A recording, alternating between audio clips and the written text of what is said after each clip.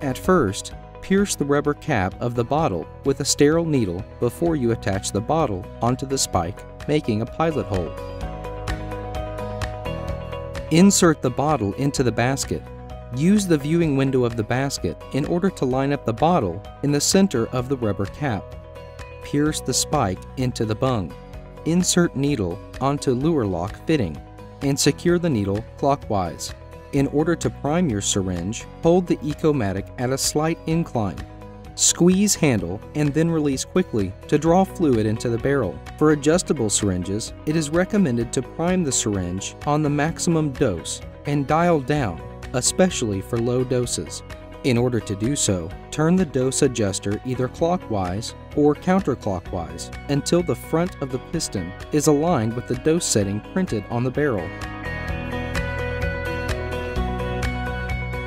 Pull out the bottle by using the grip hollow on both sides of the bottle.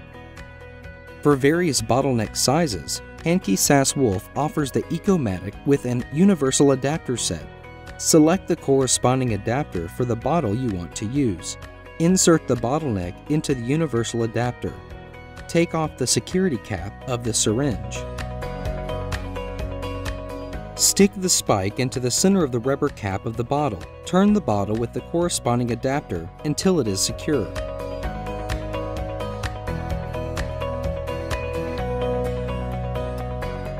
Henke-Sass Wolf syringes with tube attachment.